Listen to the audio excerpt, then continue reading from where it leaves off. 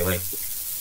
Memiliki blog eh, banyak manfaatnya karena akan melatih eh, mahasiswa untuk dapat mengartikulasikan, mem- menuangkan gagasan-gagasannya dalam bentuk eh, tulisan atau apa pun eh, yang terlintas di benak mahasiswa dapat diaktualisasikan dapat diartikulasikan dalam eh, blognya. Tentu saja harapannya blog-blog itu adalah blog-blog yang eh, nuansanya akademis menyajikan optimisme tentang pendidikan dan perbaikan eh, tidak hanya dalam ranah pendidikan tetapi pada persoalan kemarsa, kema- kemasyarakatan secara eh, secara luas.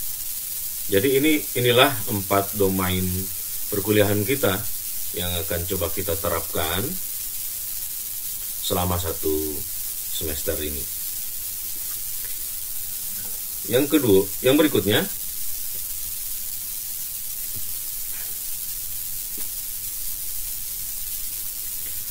evaluasi.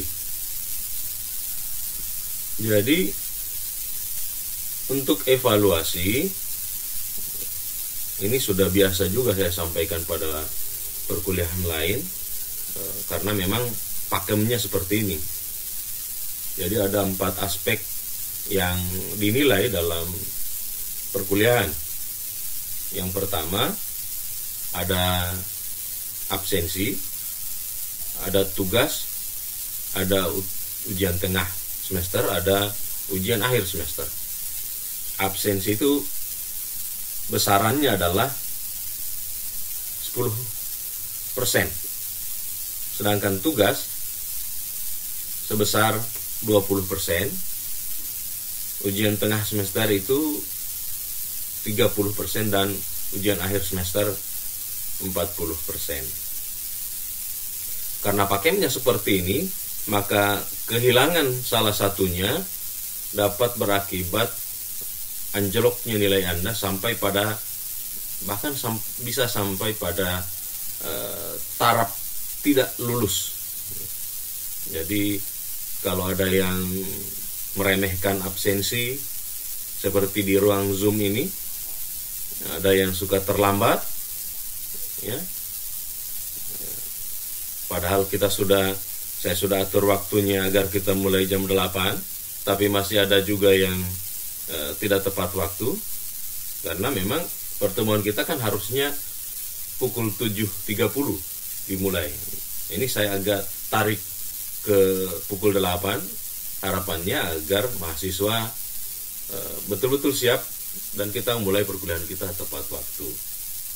Ini juga masih eh, banyak yang terlambat. Nah, ini ujian bagi kedisiplinan kita semua. Kita siap enggak untuk perkuliahan? Perkuliahan Zoom, Zoom ini kesannya santai. Eh, tetapi santai mestinya dapat dimanfaatkan untuk eh, serius. Karena inilah medium yang dapat kita gunakan. Fasilitas ini yang tersedia untuk kita eh, berkuliah. Oke, jangan jangan dijadikan hanya formalitas. Makanya tadi saya bilang aktifkan videonya. Ini ada rekamannya semua sehingga di akhir perkuliahan tidak ada yang ngaku-ngaku hadir. Tidak ada yang ngaku-ngaku hadir, padahal tidak hadir. Ada yang hanya hadir HP-nya. Ini muka-mukanya banyak yang tidak kelihatan nih. Paling yang saya lihat mukanya sekarang ini hanya ini, Inaya Nurfadila. Jadi ini banyak yang kalasi di soal absensi ini. Hanya HP-nya yang hadir. Maaf-maaf saja, ini rekamannya itu akan saya periksa dan akan akan saya sampaikan di channel YouTube itu akan saya tayangkan supaya Anda tidak ada yang ngaku-ngaku hadir. Itu loh. Jadi yang saya nilai itu kehadiran orangnya, bukan HP-nya. Gitu. Oke. Dan eh, karena saya sudah sering bertemu Anda di beberapa pertemuan eh, mata kuliah lain, saya cukup menandai beberapa nama yang sering yang tidak disiplin. Oke. cukup menandai nama-nama. Saya tidak terlalu eh, mengingat wajahnya tapi saya saya saya menandai nama-namanya yang tidak disiplin di mat, yang pernah meng, uh, mengambil mata kuliah saya. Oke jadi uh, pesannya jangan menganggap enteng sesuatu. Biasanya kita ini sudah menganggap enteng sesuatu tapi memintanya lebih. Kita suka meminta lebih. Gitu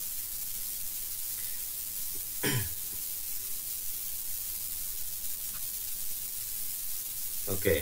Uh, eh, kemudian ini tugas ya. Tugas itu 20%. Selalu saya tekankan berusahalah mengerjakan tugas itu sebaik-baiknya. Gitu. Tugas itu sebaik-baiknya dikerja. Ada pedomannya saya berikan. Kerjakanlah dengan mengikuti kaidah-kaidah di dalam pedoman itu kebanyakan saya memeriksa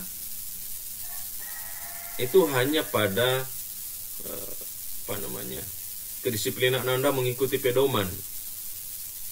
Saya belum masuk ke konten. Ya maaf maaf saja karena konten konten itu kalau saya baca susah Anda lulusnya. Kalau dari segi isi, maka penilaian yang saya berikan itu hanya pada kepatuhan terhadap pedoman.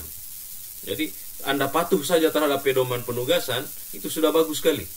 Kita belum berbicara isi ini. Gitu. Jadi karena berbicara isi itu berat. Gitu. Nah yang ketiga, ujian tengah semester. Biasanya, apalagi perguruan kita eh, model online, ujian tengah semester itu juga dalam bentuk tugas sebenarnya. Juga dalam bentuk uh, tugas Demikian pula ujian akhir semester. Jadi UTS itu 30%, UAS itu 40%. Jadi bayangkan jika Anda kehilangan nilai UTS atau ada yang bermain-main tidak ada nilai ujian akhir semesternya.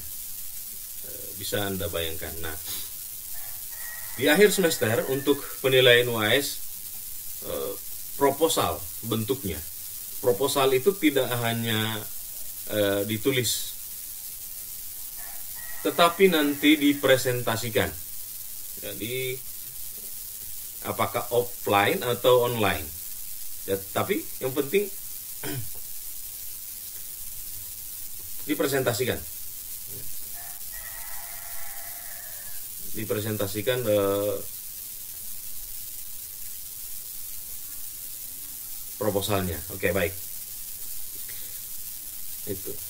Yang berikutnya ini topik perkuliahan kita tidak tidak banyak ya.